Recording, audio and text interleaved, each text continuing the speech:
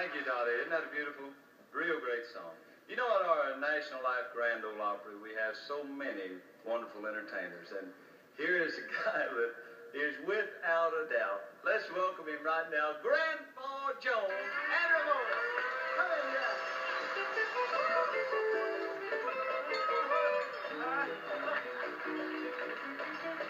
What in the world are you doing with all the cowbells? Well, Porter, it got so dry down at home last year, two of our old cows was giving this powdered milk. so, so, so I took the bells off of them and used them for something else. Well, listen, what are you going to do? Play us something? I'm going to play a little jingle bell.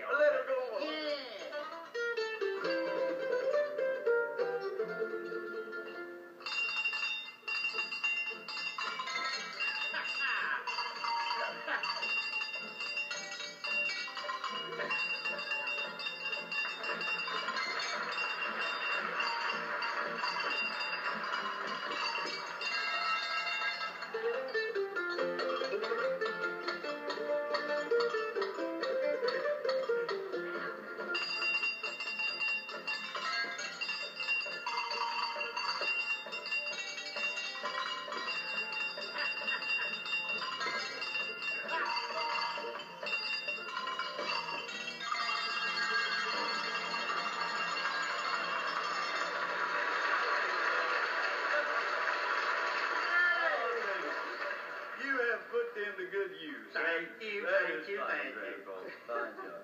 You know, in the 40 some odd years that we have celebrated Christmas at the Grand Ole Opry, there are many of the artists that are no longer with us.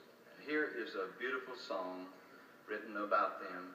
It's called Christmas at the Grand